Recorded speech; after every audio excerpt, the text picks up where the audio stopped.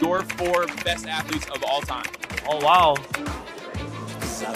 Michael Jordan, Tom Brady,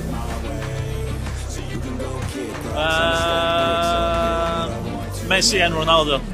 I got a lot of shit to say, so I'ma do this every day. I'll be writing things until I'm fucking buried in my grave. Six feet deep under, but my body won't decay. Cause my messages are timeless, so they'll put them